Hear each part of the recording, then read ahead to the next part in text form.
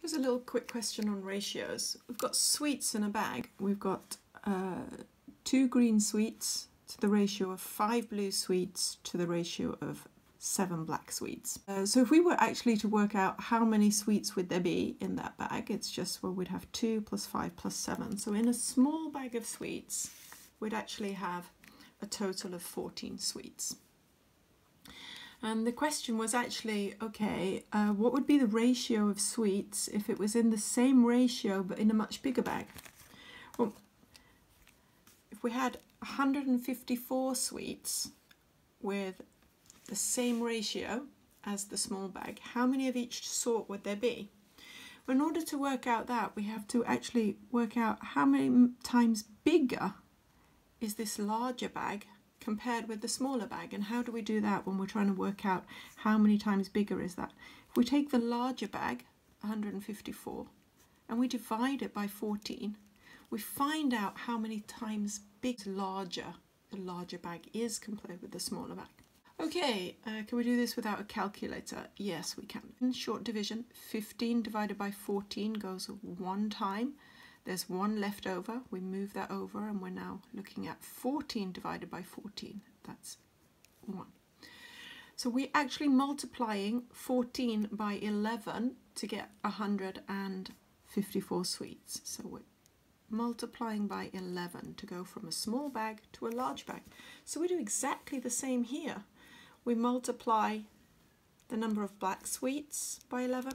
We multiply the number of blue sweets by 11 and we multiply the number of green sweets by 11. 2 times 11 is 22. 5 times 11 is 55.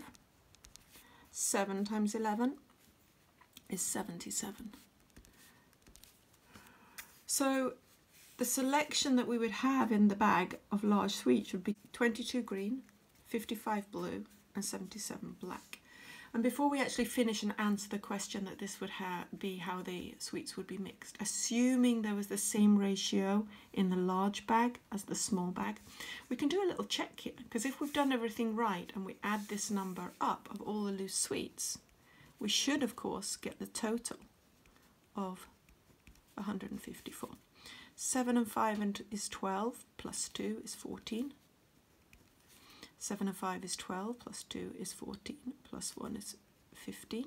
So we get 154, which is the total number of sweets we should have got. So now we can answer the question. Number of sweets in the large bag is 22 green, 55 blue, and 77 black. And there you are. Notice my strategy to this type of question. Notice I don't just try and go in and work out the answer directly. I always try, if I can, whenever it's a problem solving type question, make a little sketch. Make it easy to see what's going on. Do a little sketch, even if there is no small bag of 14 sweets, pretend that there is one. If they just give you this ratio and said, how many sweets would there be in 154? Break the problem up into several small areas. Pretend that there is one then work out how many times have I increased this total number of sweets to get to this number of 154.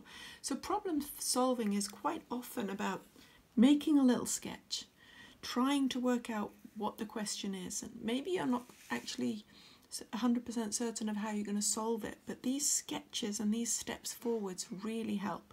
And then I'm showing every step of the way, what am I doing here? Here I'm showing my division, here I'm working out number, I'm multiplying the, the smaller bag to get the bigger bag and showing that I'm doing the same thing here. This working out is really easy to follow and this is what you should be trying to do with a in a maths question. It's not just about quickly putting some numbers down and putting an answer. It's, it's by telling a story. You're telling a mathematical story with every problem solving question that you're trying to solve.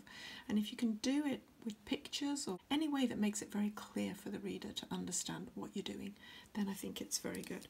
And I always try and do some sort of check if I can um,